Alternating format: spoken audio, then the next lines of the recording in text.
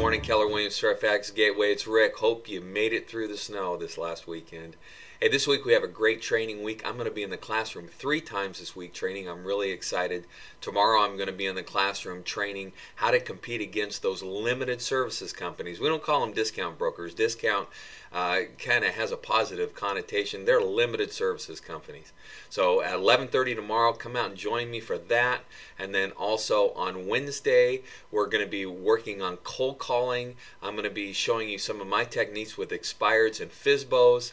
So we'll see you at 11:30 on Wednesday, and then on Friday, I'm going to be in the classroom at 11:30 for another lunch and learn, and this is called expanding your sphere through the power of nine. This is this is what I've came up with over the last year and how to quickly expand your sphere and get that database going.